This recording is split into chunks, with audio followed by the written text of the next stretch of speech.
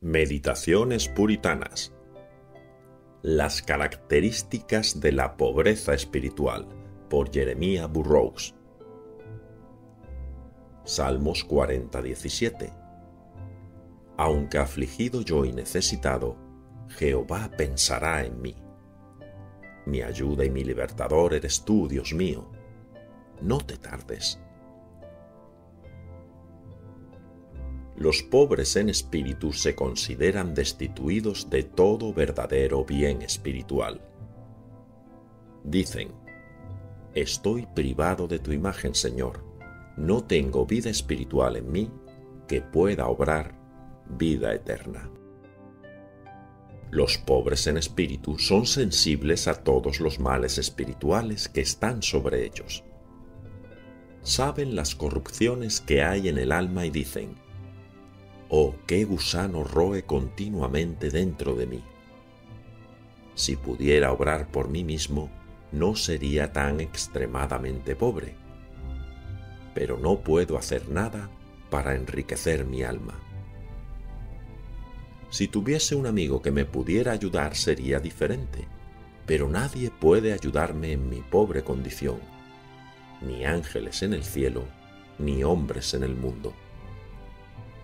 Si hubiese algo de excelencia en mí, podría tener alguna esperanza de que alguien considerase mi valía, pero no tengo ninguna.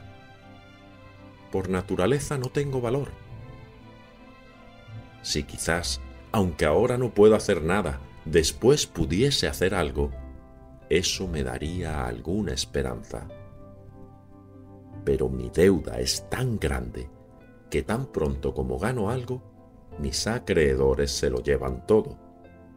Soy tan pobre delante de Dios que, aunque pagase las cuentas que tengo ahora, nunca podría pagar la deuda pasada.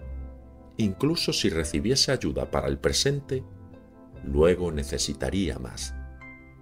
He de vivir continuamente de lo que me dan. Esto es pobreza espiritual los pobres en espíritu viven en una dependencia continua. No tienen nada en sí mismos salvo lo que se les da, ni saben ni siquiera usar lo que tienen sin ayuda. Dependen de nuevos suministros de gracia en todo momento. Están destituidos de todo bien espiritual y su miseria espiritual es lamentable. No pueden obrar nada bueno en absoluto, ni tienen ningún amigo humano ni nada de valor que pueda recomendarlos. Qué pobre criatura la que está en esta condición.